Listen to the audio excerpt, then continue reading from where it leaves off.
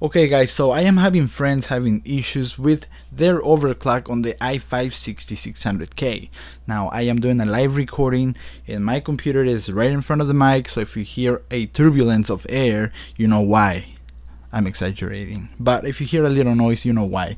There's also traffic outside and sirens going around and yeah, the whole nine yards. So I can't really edit that out of my voice because I'm doing a camera and microphone recording at the same time. So let's get to this here.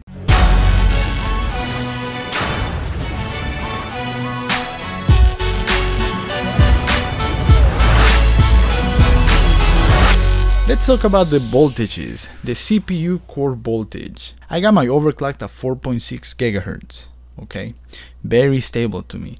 And I have my XMP profile 1 to get what I paid for, my 2666 megahertz. There's a plane going above me right now. I live near an airport. Yeah, that blows. Let's go into adva um, advanced mode and I come over to my AI tweaker here I am. And this is how I got mine set up okay? You see right there. Target CPU turbo mode frequency 4.6 because I set it to that. I haven't I tried going to 4.7 and I, I, I was not having any stable overclock even messing around with voltages. Probably my motherboard isn't capable of running 4.7 so I don't know. I don't know why I could be wrong, correct me if I, I am. But it seems like some people can, some people can't. So here's my overclock. Okay, here are my settings. Take a good look. Okay, I have the Asus Z170 Pro Gaming motherboard. And this is how I got my setup. I got the XMP turned on. Okay, I have it on XMP, not manual or auto. I have it XMP. Um, here it is.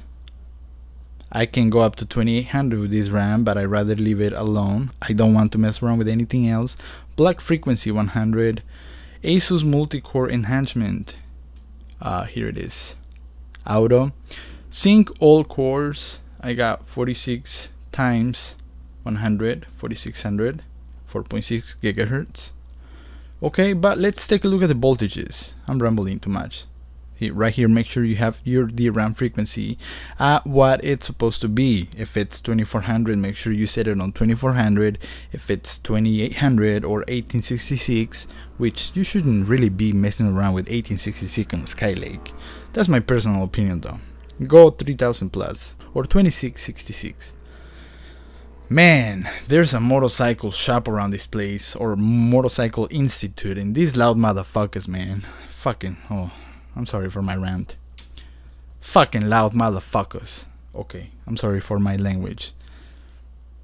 I should probably put on this video that I say a lot of bad words. I really do. I just don't like to say them on video because it's just not professional. Okay, so internal PLL voltage, extreme over voltage. But right here guys, this is how I got mine set up. On my first overclock video, I said on the video leave this alone because it worked for me. But I was getting 1.415, 1.425 and a lot of people started telling me, you know what Creeper, 1.4 is not safe for an i5 and yada yada. So you know what, I took the advice. Which honestly 1.4 is not going to hurt your uh, core processor. Honestly, it's not to me it's not going to hurt it. I have read many articles online and it's not going to do anything. But a lot of people are having issues with it auto. So if your overclock is not working on auto which is where i had it on auto here go to manual mode okay? Just set it on manual. Right here it's where you are going to change the core voltage right here. Cpu core voltage override because you're going to do it manually. Now at 1.4 it was doing perfectly fine but since I changed to manual mode to down the core voltage from 1.4 25 35 sometimes I wanted it to be under 1.4 I set it to 1.25 and I was getting crashes and I was getting boot fail so try not to have a lot of boot fails because it's going to mess up with your SSD or Windows it's installed. It's gonna start saying you need to repair Windows and you're gonna get stuck in that and you're gonna have to yeah it's painful. I had to do it twice on this build. At one time I set it on offset mode and I and I tried to boot up and trust me I, I had to do the whole windows installation again. I don't understand why. I went to some forums online and people had no idea what the hell i was talking about why windows got damaged from setting it to offset mode or adaptive. So be careful on that. Don't set it on offset or adaptive. Leave it on auto okay or manual mode. And at 3.25 I was getting like I said crashes but I was getting a boot and perfectly fine. I was able to get into Windows but when I did my stability test I was getting crashed. I kept messing around with it at 4.6 so I set it to 1.375 and, and it was going up to 1.425 again. I didn't want that. So I came back to the BIOS and I set it to 1.345 and right here guys worked perfectly fine for me. Now let's go into the stability test and let's run it. And let's watch for this number here. You're gonna see it go up to 1 1.375. Let's get to it guys. Okay guys, I am here. I am sorry for the shitty mic quality. I'm using my Turtle Beach headset. Uh, the Ghost Edition, I've had them for two years now, so the quality is not that great, but I'm doing live to you because I want to do this live. So let's go ahead and open uh, CPU ID Pro Gaming C. CPU ID. So let's go ahead and have that open. Okay, I'm gonna put that up here, and look at that, 1344, 1345. Let's go ahead and open AIDA 64. So here we have it. Here we got AIDA Extreme. Uh, let's go ahead and open AIDA 64 CPU ID because I'm gonna run the stress test.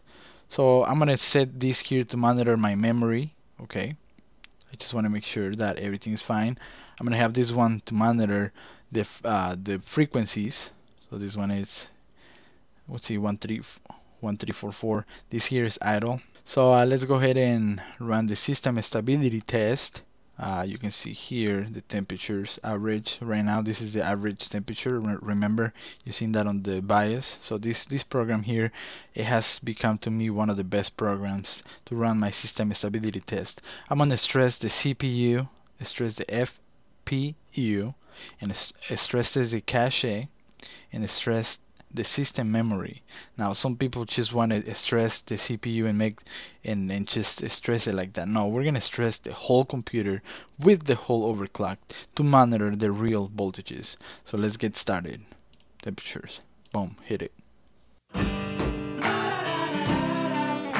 So you can see here 1.3, 1.376, 1.360. I told you it didn't go over to that. See, it's not 1.4 anymore.